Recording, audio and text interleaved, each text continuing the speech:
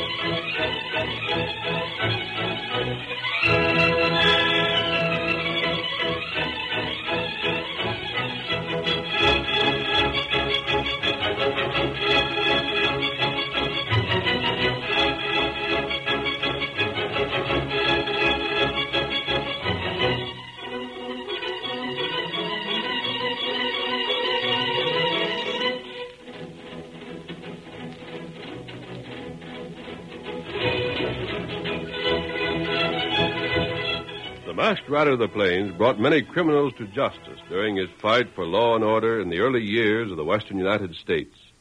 But he gained his greatest fame as a champion of right against might, of the weak against the strong. No man did more to make the frontier safe for honest men and women. Return with us now to those thrilling days when the West was young. From out of the past come the thundering hoofbeats of the great horse Silver. The Lone Ranger rides again. Come on, Silver! We've got to hurry! Tonto's waiting on the trail ahead! Hurry on, Silver! Away!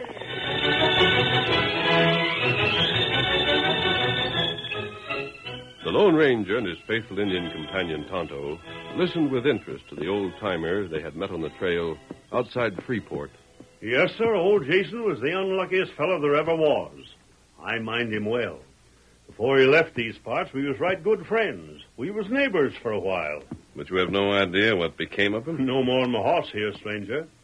Never even heard his name mentioned the last few years till this business of the ranch come up a couple of months ago. And if he's not found? It goes to his nephew, a fellow named Lang, son of one of Jason's brothers. You should meet him. For a worthless, shiftless, downright ornery example of nothing at all, he takes first prize. You mark my words. That ranch is worth a hundred thousand if it's worth a penny, and he'll have it drunk up inside a year. You said Jason was unlucky. What did you mean by that? What do you mean? Well, stranger, did you ever meet somebody that brought bad luck with him wherever he went without raising a hand? Oh, I can't say that I have. Well, then you should have known Jason. That was him. Married three times and lived to bury every wife he had. Had four young'uns and buried them.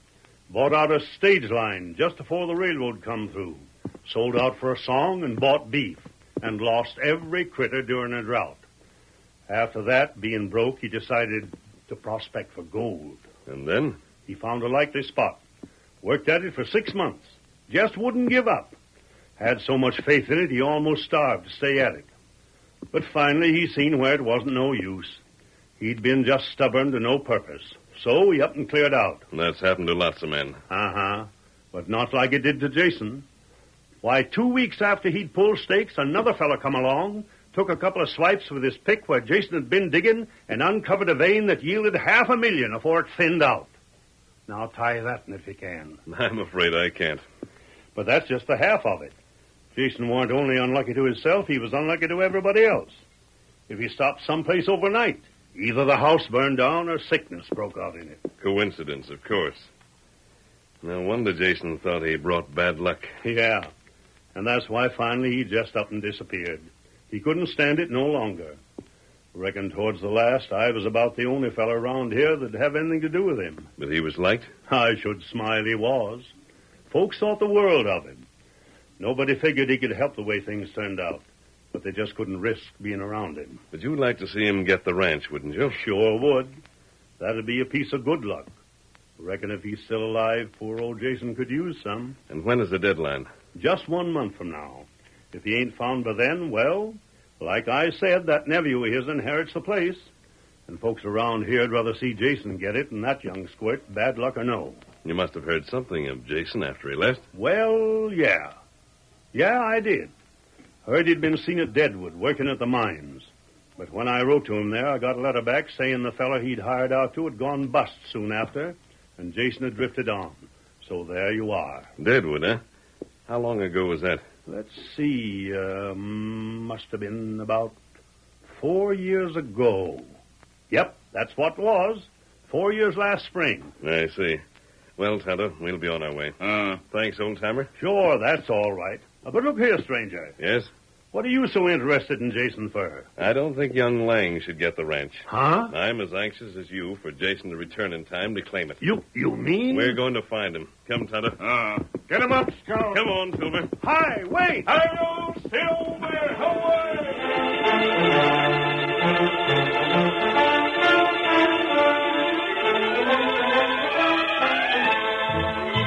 On that same day, hundreds of miles from Freeport, a wealthy rancher named Ashley was listening to a report from his foreman.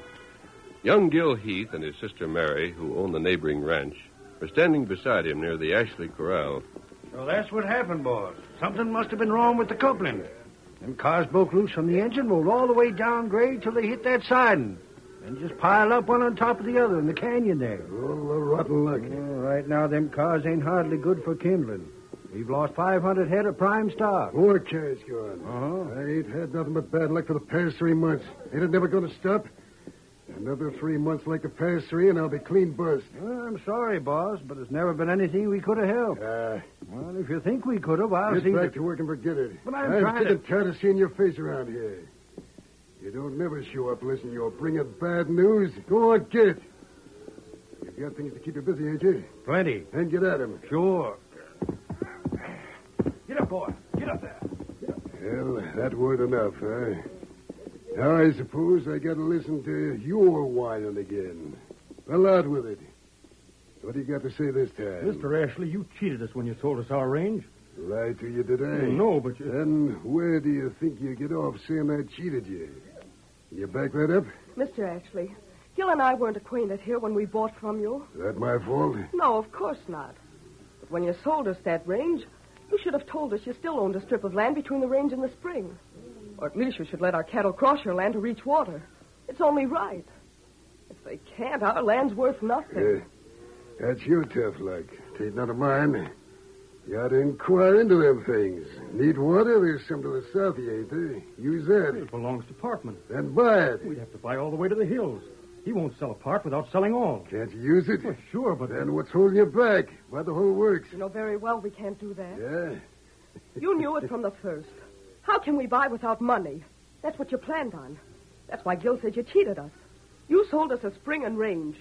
You never told us we couldn't reach the spring without crossing your property, and now you want to charge us. and now, if you send your critters across that there strip, you gotta pay me a dollar a head.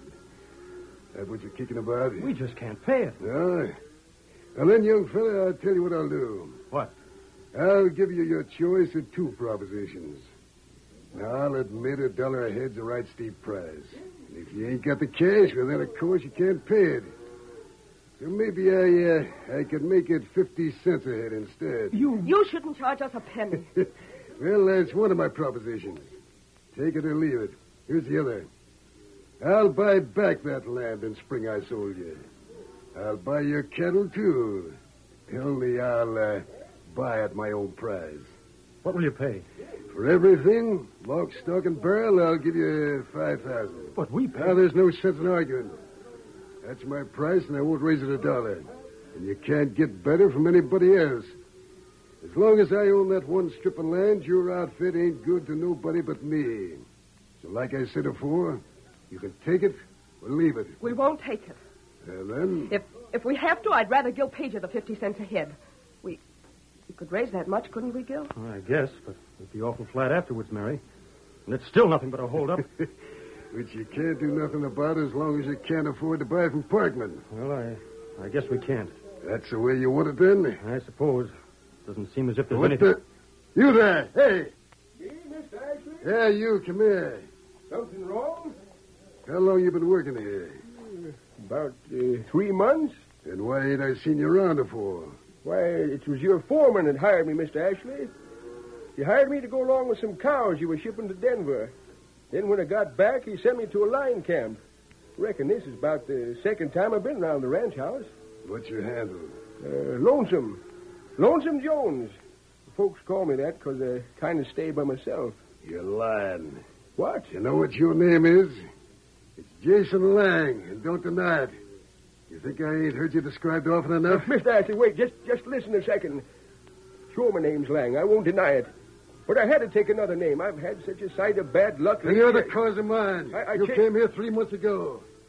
Well, it was just three months ago that things started going wrong around Well, here. ju- just- get off my plate. Mr. Ashley, listen. I ain't been able to hold a steady job in five years. The bad luck you've had ain't my fault. Just, just give me a chance. I'm getting to be an old man. I need the work. If you fire me, I don't know how long it'll be before I get another job. Well, you... I've done my work good. Ask your foreman if I ain't. Hey, Moose. But, Mister, Clear out of the county. I won't have you anywhere near. If I hear you get to work close by so as you can hoodoo me again, I'll come after you and run you out of the county myself. Now get. Uh, I got twenty dollars coming, Mister Ashley. You've cost me a hundred times that much already. You mean you ain't going to pay me? That's just what I mean. Well, I, I ain't got a dime. Didn't I tell you to fair moose? You No, wait. I'll show you.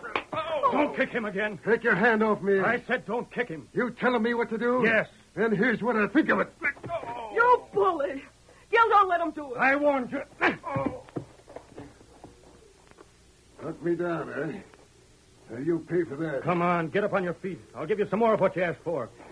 Young fella, I don't fight where it ain't necessary. Coward. And here it is. You put it in.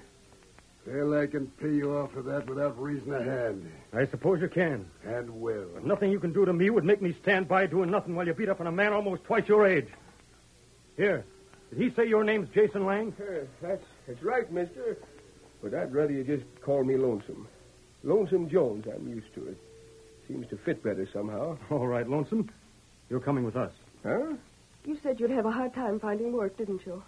Well, we'll give you work. No, no, miss, you couldn't do that. I, I wouldn't want to see you come to any harm on account of me. I'll be all right. You Nonsense. Of course you'll come with us. Go ahead, climb up in the buggy there. You can drive us home. But you needn't Go on, do... Lonesome, please. Mm, Well, if you say I should. Only... Well, I know doggone well I hadn't ought to. You know something? Maybe I won't have to pay you off myself. No? You're carrying your bad luck right along with you. I'll take that chance. and don't forget, what's bad luck for one man may be good for another. Come, Mary. Let's get home.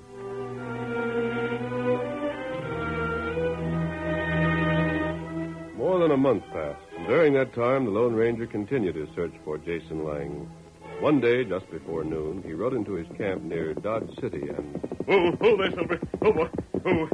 Tonto, get mounted. Uh, you got news? I picked up Jason's trail again. Not good. Here, Scout.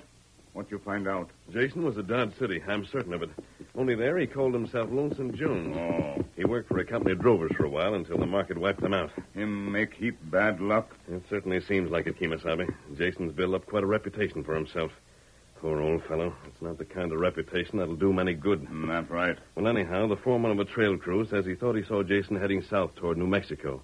At least he saw and met a man answering Jason's description who called himself Lonesome Jones. Not him, all right. I'm sure of it. Personally, however, I'm not at all sure that New Mexico was really his destination. Why think that? Because he's been trying to disappear, not to advertise himself. Moreover, he's been in New Mexico before. He'll most likely cut off from the trail and head someplace where he's unknown. Oh. But anyhow, we can trail him as far as the place he was seen last. Ready? Uh, me ready. Then come. Get him up, Scout. Hi-yo, Silver! Away!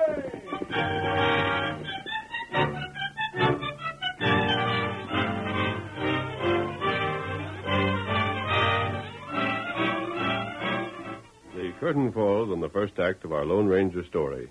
Before the next exciting scenes, please permit us to pause for just a few moments.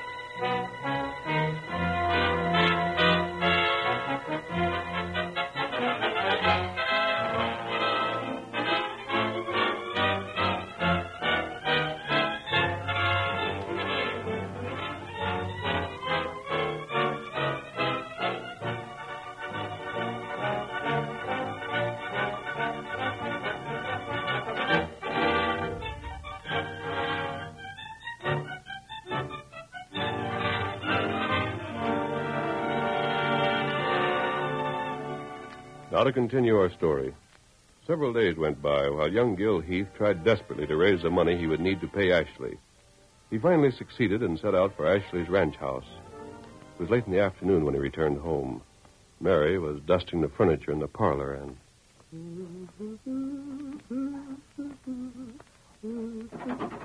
Oh, well, that didn't take long, Gil. Not very. Is it all settled? Can we send the herd across tomorrow? Nope. But I thought.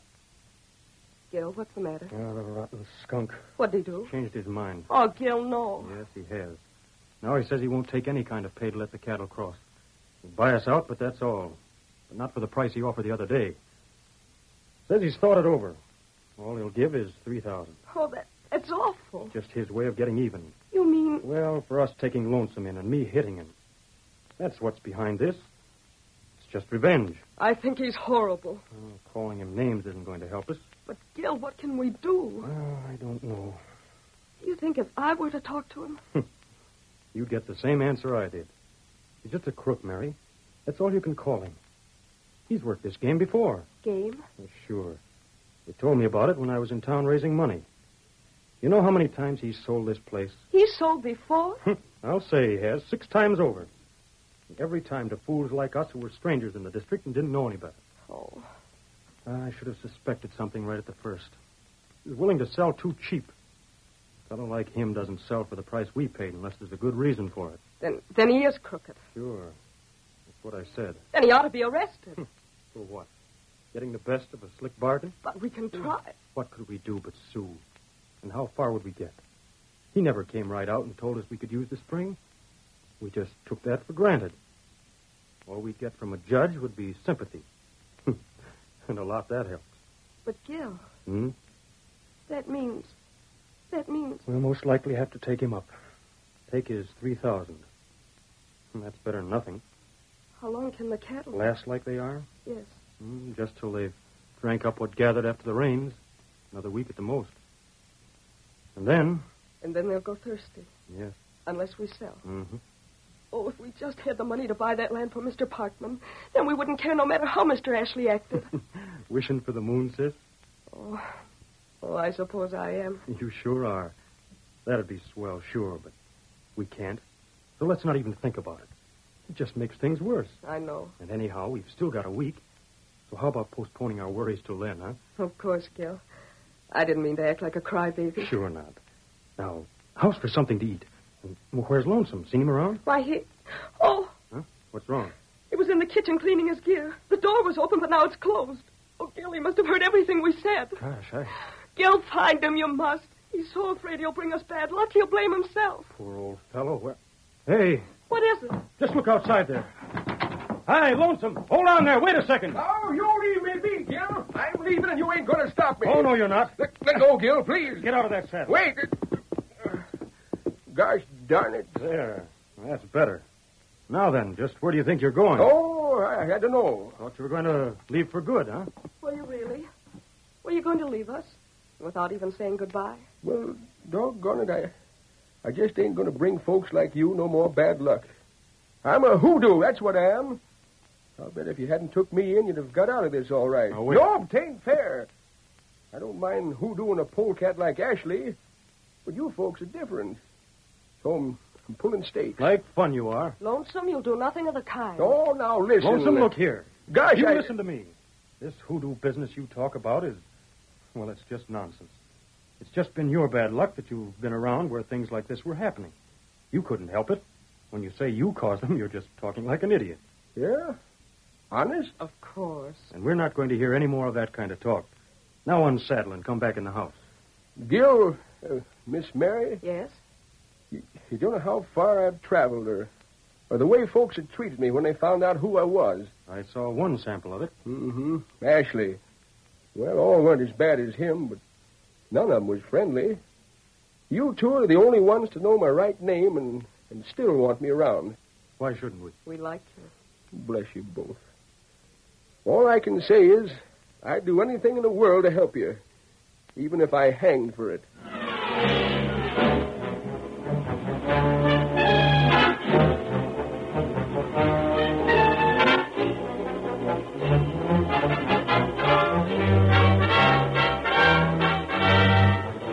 Few days later, the Lone Ranger and Tonto talked with the cowboy. They met not far from the Ashley ranch house. You say you're Ashley's foreman, eh? Uh huh. That's how it happens. I was the one to hire this fellow you're asking about. Ashley blamed me plenty for it, too. If I didn't need my job so bad, I'd Never quit. mind that. Where's Lonesome now? Still with that young couple I told you about, the last I heard. The name is Heath. Yeah, they're brother and sister. Come here from the east. Boy's name is Gil, his sister's Mary. You said they'd been having some kind of trouble with your boss. Trouble. well, I'd call it that anyhow. They need water for their stock, but can't get it. Ashley's offering them a price for their place that ain't much better than stealing it. He give 'em till tomorrow noon to take it or leave it. And then, Yes? well, the way it looks from here, they'll take it. Ain't much choice. If they don't sell to Ashley, they can't sell to nobody. This man Lonesome. You say they knew his reputation when they hired him? Uh, sure did. But it didn't phase him any at all. I see. Well, thanks. Tonto, let's get going. Uh, Uh, suppose if I was to ask, you'd tell me why you wanted to know about Lonesome wasn't any of my business. I would. I thought so. But, stranger, Huh? keep your eyes and ears open the next few days, and you may find out. Come on, old fellow. Get him up, Scout. hurry, boy,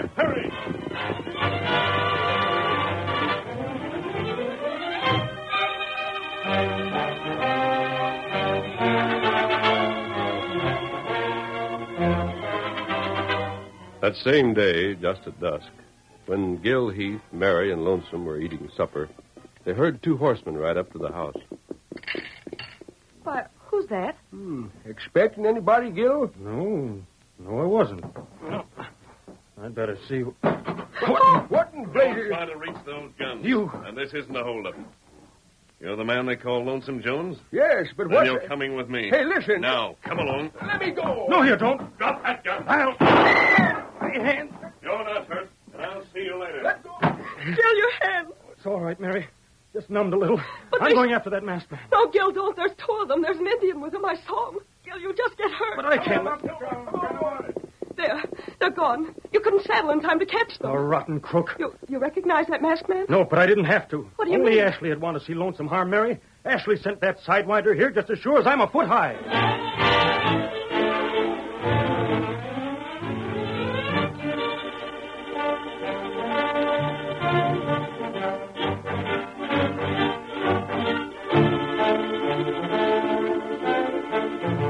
Out of sight of the ranch house, the masked man explained everything to Lonesome.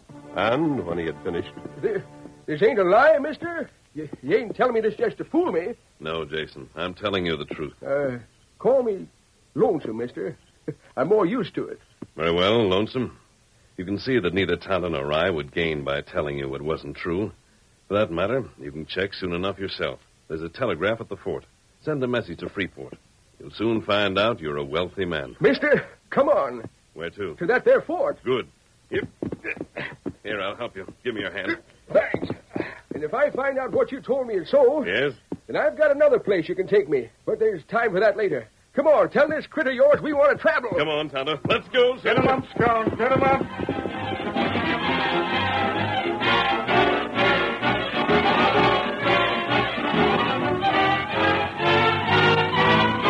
on the following day, Ashley reined in before the Heath place, dismounted, walked up the steps to the porch, and rapped on the front door.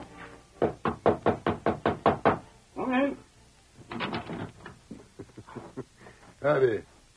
It's you. Just Mr. Ashley, Mary. Oh, I hope it was Lonesome. You don't sound glad to see me. Lonesome's disappeared. We, we've been hoping... No, he was talking to Ashley about it, Mary. He knows all about it. Knew before we did. Yeah? I don't savvy. Don't understand, huh?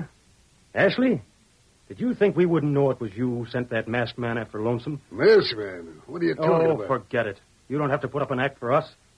I'll just give you this warning. I If you've harmed him, you'll pay for it. Now get down to business. At least I suppose you're here on business. Don't imagine you'd have the nerve to make us a friendly call. I'm here to buy. And you're wasting your time. Yeah? Well, don't get me wrong. I ain't going to keep making you offers. This is a lesson. I happen to know you're in a spot where your cattle's got to reach the spring. If you want to sell after today, you'll have to come to me. And uh, maybe I won't be of a mind to be so easy on you as I am now. Easy on us, offering us 3000 maybe next time it'll be less. There won't be any next time. Uh, and there won't be any this time. We're not selling, so get out. You won't sell when you know you can't get water? We would have sold if you hadn't sent that man after Lonesome, but now we won't. We'll, we'll give the place away first. But you won't have to. What the? Lonesome, tell them. Folks, look at here. What do you Just got? look at that. What is it? An option on Parkman's land. An option good for 90 days. When that land is yours, you won't need the spring. You'll have all the water you can use. Lonesome, did you get that option? Sure did, Gil. But it's no good. We can't buy. You know that. Uh-huh. Well, then why did But you... I can. Well, what do you... You can. yes, sirree, I'm a rich man. If you don't believe it, just ask the masked man. That... Well, well, doggone, he lit out already. Hey, hold on. Wait, Lonesome. What do you mean? Huh? Oh, yeah, sure, I'm going to buy it. That there masked fella's been hunting me out just to tell me I inherited a ranch and cash. You old fool, your lies ain't gonna get down with me if you think that- Ashley, you can skedaddle. You're all through. You and your crooked dame's finished. You sold this place to these folks cheap, eh? Thinking you'd get it back still cheaper. Well, you ain't, and you're going to have to stand the loss. Lay a hand on him and you'll get what I gave you the other time. Gil, recollect what I told you before? That I'd do anything for you folks? sure, but Well, I I. I got my chance. Thanks to the masked man. I'm buying that land from Parkman, giving it to you, and you can pay me back whenever you feel like it. Oh, we couldn't let you do that, Lonesome. No? you couldn't stop me. I've been waiting most of a lifetime for this. Doggone if I ain't brought somebody good luck at last. Hi-yo,